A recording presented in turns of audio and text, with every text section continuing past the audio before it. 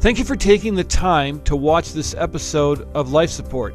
If you enjoy the content, we would ask that you like it, hit subscribe, and share it with your friends. Hey, it's so good to have you on Life Support. What we do on this program is we tell stories. We talk about how Jesus can step into even the worst of trauma and make himself known. And we're excited about the redemption of Christ. We're excited to have you with us.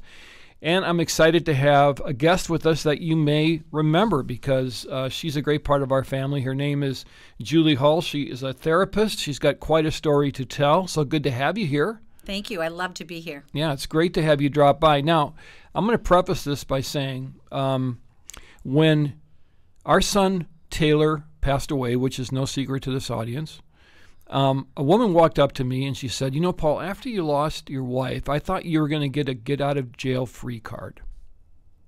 Never thought you would have to go through something like this. Mm-hmm. You are experiencing not having a get out of jail free card right now. Mm-hmm.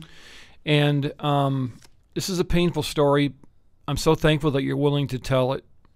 Give us a, a brief background of, of your life, what you've been through, and then what you're experiencing right now. And then I know some things we, we need to get into. Mm-hmm. Yeah.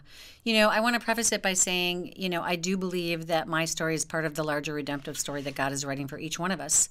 And I love how this program actually, you know, brings hope in our story.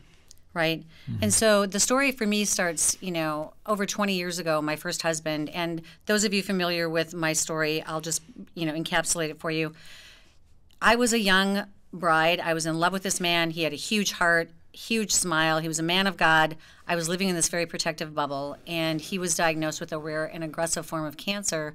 And 18 months later, he went home to be with Jesus. I was a young mom. I had an 11 year old and two teenagers, a blended family.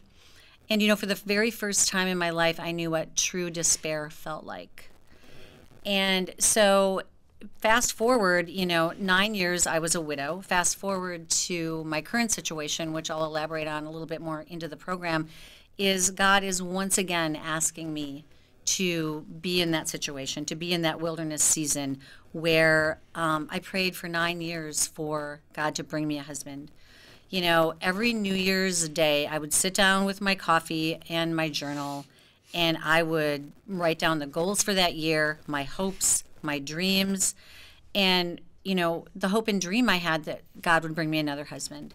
So years came and went, and God continued to say no. There was you know nothing happening in that part of my life, and a year and a half ago, God answered that prayer. That prayer was he did bring me a man. And you know as i talk to god i have certain requirements i need him to do for me as we all do. And i said lord there's only two things i really want in a husband. And i prayed this for all those years. I want him to love you more than anything and i want him to love me and our kids second. That's it. You know that's i don't care you know where he you know what he does for a living where he comes from his story all those things where it's just those two things so god did answer my prayer he did give me that husband and you know, that was a year and a half ago. Three months into that marriage, my husband was diagnosed with stage four cancer. So it meaning it had metastasized to his bones. So at that moment, once again, it's I needed to to really lament and wrestle and question God and say, "Are you kidding me?" Mm-hmm. So when we refer to that get out of you know jail free card, I really had a lot of soul searching, a lot of questions for God. Mm-hmm.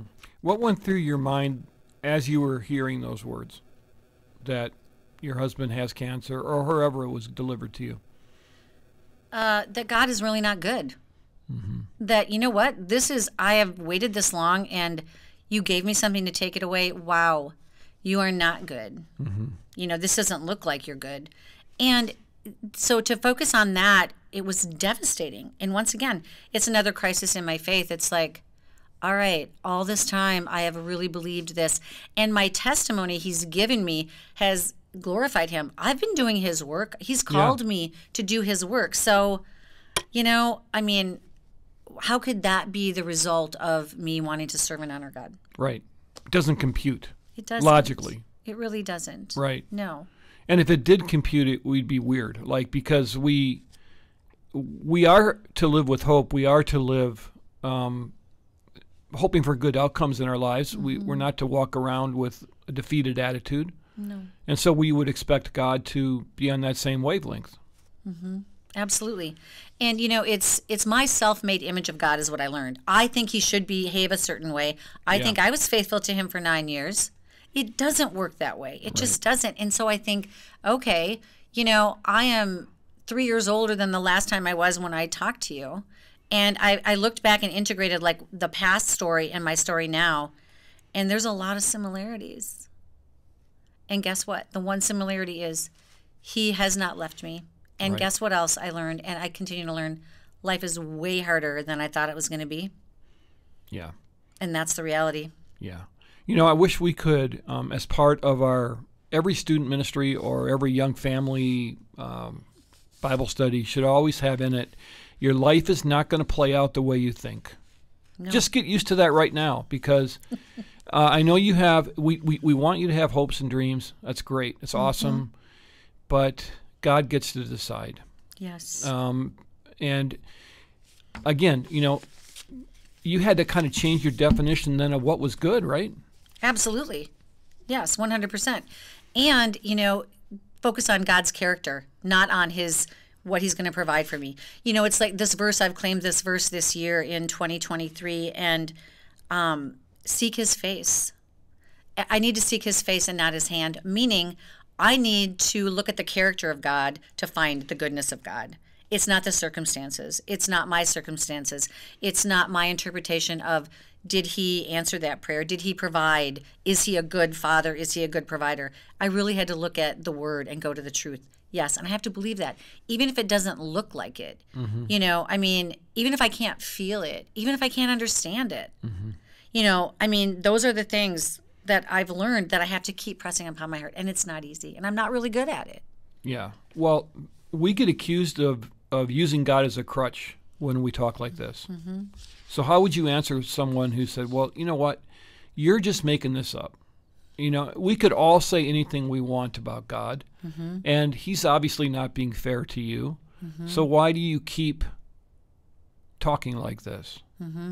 You know, our, my hope and my joy is not contingent on my circumstances.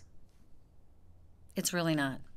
Again, I have to go back to the word and I have to, like, you know, really seek the truth Right. in his word. And I have to believe, you know, that has to guide my behavior. That has to that has to fill in, you know, it's it's like the prayers I had right when, you know, my husband got diagnosed. It's like, all right, you have to do the heavy lifting on this one because I am so devastated by this news and I am so afraid to even continue to love this person in this marriage because he won't be here. Yeah. Because the more you invest, the, the more it's going to hurt. Mm-hmm. Yeah. yeah. But I think, don't you think God is honored by that? He's He's almost glad when you throw up your hands and say, "Yeah, this has to be all you now," mm-hmm. which is kind of where He wants to take us anyway, right? Exactly. That's exactly where he wants us. And you know, I remember thinking many, many times early on after the loss of my first husband, you know, all I really had was God. That's it. That's all I had. And I really believed and started to internalize and really believed that that was all I needed. And that sounds cliche, that sounds really like, you know, coy, but it's really not. That is really what we need. And it's not the God that we've made in the image of, he's going to make everything better. But you know what? What he's done for me, I, I prayed for years and years, and I've prayed recently at this season, Lord, I'm afraid. Please come and take the fear away. He hasn't taken the fear away. Mm-hmm. You know what he said though? I am with you in the fear. I want you to keep going in the presence of the fear and the loneliness. So that's what he's asking me to do. How did your friends and family react? That is such a crazy. Cra- I mean, there's a couple crazy stories with that. You know, running into people in the grocery store, and one person just absolutely losing it and saying, you know, I can't believe this. Poor. I mean, just feeling so sorry for us. Not at all being like, hey, let me know how I mm-hmm. can come alongside mm-hmm. you. And then, frankly, there were people that don't want to hear that story because they feel so sorry for me. And you know, C.S. Lewis says in one of his books, I think it's a grief observed after his wife died that he felt like he was a death head. Like he felt like when he went into rooms, people would look at him and go, "Oh no, we got to talk about this again. I'm Yeah. really uncomfortable about this." So we have had the most, and we've also had really, you know, beautiful responses where it's like, you know what, whatever you need, we'll be here for you. How can we help? Yeah. You know, and then those other people that, again, it's that unfortunately over spiritualization, um, and they have not met us where we are. And these are people of the church. These are people that, you know, they haven't had this experience and they think they're saying helpful things and they're really not helpful. Yeah. Yeah. What do you want them to say? Wow, that's got to be really hard.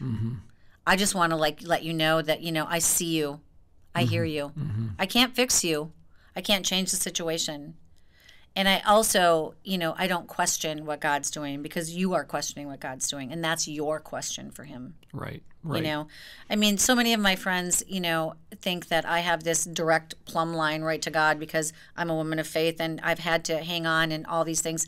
I don't have it any more than you or anyone else has it, you know, but I also do not believe and I cannot allow myself to believe that He's punishing me because I'm still not, I still don't have enough faith, which is some of the things that I hear. Yeah, those are some of the myths that are out there for sure, and I don't know where people get these things, but they they certainly do blurt them out. Um, and I think there's a fear on on their end of facing it at all, and so they're almost explaining it away while they're talking to you, so they don't have to face the reality of it. It's like when something ha- bad happens in America, we have to blame somebody, mm-hmm. so we immediately start throwing blame mm-hmm. because we just can't accept the fact that the world doesn't work the way we want it to. Mm-hmm. It's absolutely true. And, And our worldview is, you know, as Christians, is sin has broken the world. Yeah, absolutely. And I mean, you know, it's it's once again, and I really mean this sincerely, and it sounds however it's going to sound. It's another opportunity. It's another opportunity for me to surrender my super high capacity ability to lead and to you know own a practice and to have a family and do all the things that you know God has equipped me to do. I have to actually surrender all of it and say, you know what? Any minute, this can all go away mm-hmm. you know and the other thing too that's really been impressed upon me in this season is you know the enemy likes to use time as a weapon okay and so he wants us to live in the past because that's where our failures live our shame our regret and he also likes it when we can live in the future because that's where our uncertainty lives. That's where anxiety lives. Mm-hmm. And what God is saying to me, and what I really hope people can hear, is God is asking each one of us, I have manna for today Yeah. only today. Yeah. You know, we don't know what the treatment is for your husband. We don't know how it's going to show up at the next PET scan. We don't know anything. But what God says is, I have what you need today, so I want your eyes riveted on me today. And that's not easy either. But No, it's not. I train that over my heart and I continue to, and I will until I'm not here anymore because I need to do that. I need to focus on right now. That's a message for everybody, though. You know, like I, it's my theory that everyone is in trauma in America right now. Probably, probably have been since COVID.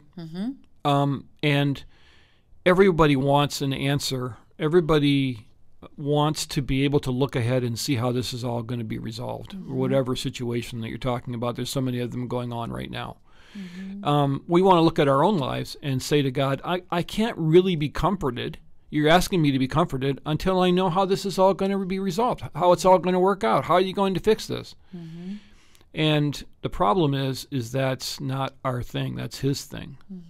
And I like what you're saying about um, really looking at the character of God because that's something that doesn't change. Right. And you can learn those things and you can hold on to those things. There's no promises um, regarding events or health or anything. There is a promise regarding the character of God, though. Absolutely. And you know, the other thing too in this is I believe other than the obvious, you know, the overriding goal is to have all of us be with him in eternity someday, to be with him in heaven. I believe another thing for us that he has down here is to transform us while we're here. And guess what? That transformation is for the benefit of other people. It's not even for us. It is like my story, he is using my story, my unique story, my gifting that he's given me to walk this out for the benefit of somebody else Right. To maybe have someone challenge their own faith or have someone maybe learn something new or maybe unlearn something that is not serving them well. And I want to go back to your point about trauma. You know, we dis we try to disown that word. We try to milk it down. We try to pretend I haven't had it. We have all had trauma Yeah. if we could you know it's like it's you know it's very similar to the people that refuse to use the word evil like well there's really not evil in the world well you know what there is there Kind of is, yeah. and there and Yeah. there is trauma Yep. and all of us you know i can't i could not get to be the age i'm at right now and not have suffered trauma yeah, none of us can right, right. So, what have you learned about God? he is faithful in every situation he is there when i can't I, and again it's like you know a takeaway from this program that i really want people to hear is he's there when i can't see him when it doesn't look like it it doesn't look like he's there when your new husband gets diagnosed with cancer three months after you get married it didn't look like he was there right Right. and he's there when I can't understand his plan. He is there. He has a plan. It doesn't match my plan. Yeah, You know, and and I don't need to know the plan. I always thought I needed to know, like you said, every step and like, all right, because we're high capacity people, because we have a lot of resources, because we're able to, you know, make change and, you know, but here's the thing, you know, our entire society, our entire culture teaches us how to get things. You know, how to get the guy, how to get the girl, how to get the job, how to get the promotion. Our culture doesn't recognize and teach us what do we do when we lose things? Mm-hmm. What do we lo- do when we get that cancer diagnosis twice in 10 years? What do we do? You know, and my story is one of many, many, many. And I, you know, I walk along devastating stories with people in my practice, you know, as a therapist. And, you know, there's no grief comparison, there's no comparing stories. yeah, Everyone has their story, everyone has their season of pain. yeah, yeah. I, I I agree with you 100. percent. Um, you had three words that you gave me: truth, grace, and time. Mm-hmm. Tell me about that. Yeah. So I think you know I I recently just did a talk uh, at a church here in the metro, and I the talk was I was asked to do the talk on the subject matter, and I thought, oh, interesting. Ended up learning a lot that I apparently God knew that I needed to learn, so I could share with others. But it was moving into your purpose now. So moving into your purpose is more about who I'm becoming than where I'm going. So again, that transformation piece. Who am I becoming? I'm still here. I wake up in the morning, I've got breath in my lungs. I have something to do. Yeah, I do have a purpose. So what is my purpose now? What's my purpose when I was a widow for 9 years? You know, I was building a practice, raising a family. I kind of knew what my purpose was then. Now, it's like what is my purpose in this new season where I'm trying to prioritize my husband's health over my work and my family and blending all those things. So purpose is grace, truth, and time. And grace is the acceptance piece. Okay. So we need these three elements grace, truth, and time in order to move into our purpose. In order to, the first one is acceptance or grace. You know, that is accepting that He is writing my story. He's actually, you know, in control of my story. yeah, And you know, the key whoops, the key learning that I learned in this is it's not going to look like the way I wrote it. I'm really not writing the story. He's really writing the story. right. And he has a purpose and I don't get to understand what it is. So it's that acceptance piece. And then it's also to steward grace to others. So hopefully something that is being used in my story to give someone else hope, to give someone else direction or to challenge them in an area in their life. Right. Maybe they're stuck. Maybe they don't know how to move forward. Maybe they need to seek counseling. Maybe they need to, you know, mm-hmm. find answers to their situation. But that's the key learning is it's way harder than we thought it was going to be. But he is writing the story and it reminds me to not lift my problems above the problem solver. You know, I had a, a man years ago when my son was in a Christian school, and he was like, I think he was the maintenance guy, and I would see him every once in a while. And he came up to me, and he would always, always ask me. He's kind of like the unlikely person that would like ask me how I'm doing and really say, How are you really doing? And I'd be like, mm-hmm. Wow, this guy actually really wants to get in the well with me and find out. Yeah. And I said, Not good at all. I said, Actually, I said, You know, I feel abandoned. I feel abandoned by most of the people in this place. I feel abandoned by, you know, God. And he said, I want to tell you something. He said, I want you to remember this. I know it's really hard, but I don't want you to elevate the problems above the problem solver. And I said, Would you write that down for me? Yeah, that's pretty good quote. Yeah, Yeah. yeah. Would you text that to me? Yeah. He texted it to me, and literally, I printed it out. It's a little tiny piece of paper, and I still carry that around with me because I need that reminder. Yeah. You know, Yep. I need that reminder hourly some days, Yeah. right? Yeah. Because sometimes people um, also want to focus on our problems, and you know, while we're trying to move ahead, um, while we're trying to get to I, I don't know if even moving ahead is a good term. Uh, moving forward, you know, there are people that will often remind us um, that, well, yeah, you really shouldn't. Like I, I, I, and they'll do it in a nice way sometimes. But well, I can't believe that you're, or, or how, how did how did you get to, to think that way? Or, and then you start thinking, well, yeah, well maybe I, you know, like maybe I am doing something wrong, Mm-hmm. and and then all of a sudden your focus is off of God and you start to grapple with a problem that only God can solve because ultimately speaking, um, God is the one who's writing our stories. That's very clear scripturally, Yes.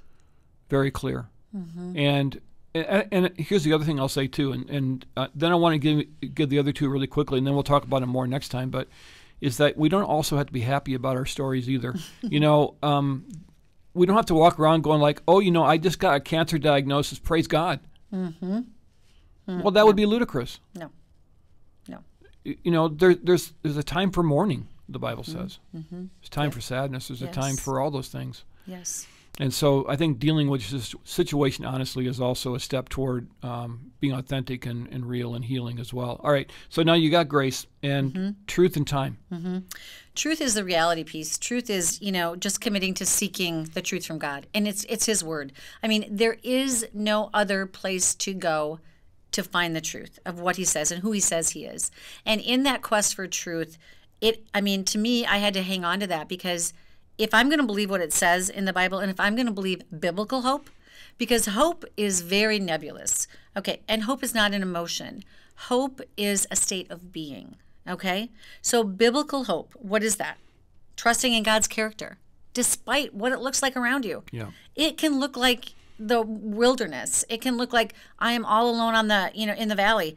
But guess what we have to trust in the character of god. And that's where i go to the word to find the truth the truth. And i need to read a lot about that. Yeah. a lot about his character. And i need to impress that upon myself. Yep. because it doesn't come easy. You know i need to metabolize that word. And i also ask the holy spirit like hey i need help here reading this because i'm reading this and it's just flat. I don't even know what he's trying to say here. And i need to hang on to something. So i need to have my spiritual eyes open stay in the word and that's how i'm going to have to do it. Yep. Yep. And then there's um, time. Time. And time again it goes back to a little bit earlier what i said you know it's focusing on today. It's what does god want me to do today? How does he want me to show up today? And what does he want me to learn today? I've got to stay focused on him because if i don't then again i'm running ahead. And i oftentimes do this and i still do this. I run ahead with a plan and i say oh yeah lord could you please come in and bless Yeah, that? Because right. i'm already at the end of that but i, I Yeah. really would like some blessing thrown on Yeah, top of that please. you know and it's really it's being like. You know, if we could be really so dependent on him the way he wants us to, I think we would receive so much more peace. There's all the things, and we're human, and that's not going to happen. So that, you know, the time piece is really committing to growing and spending time with the Lord.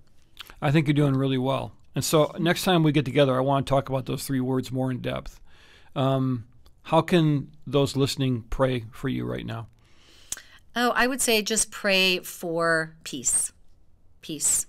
You know, I normally would say pray that he's healed and great, pray that he's healed too. We're always Yeah, praying for sure, complete healing. of course. But in the meantime, just peace that we can enjoy one another while we're here and that we're not running ahead and missing out on what God has for us today. Okay, we'll all be praying about that. Thank you so much for sharing. Thank Appreciate you so it very much.